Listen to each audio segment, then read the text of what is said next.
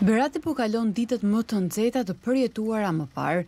Në disa zona të këtij qyteti temperaturat arritën nga dyzet e dy gradë deri në dyzet e pesë gradë Celsius.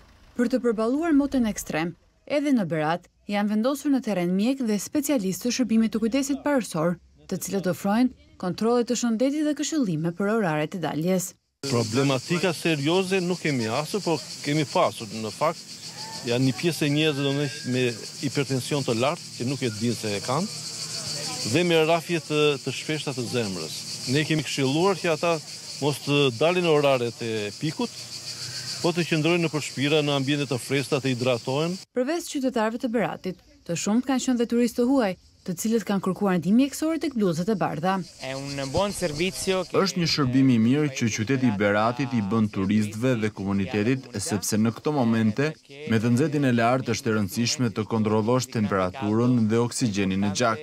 Komplimenta për këtë shërbim që e ofroni falas të gjithë personave që janë këtu në shesh. Kuçova ishte një ndër ato vende të Shqipërisë ku temperaturat arritën deri në pesëdhjetë gradë Celsius.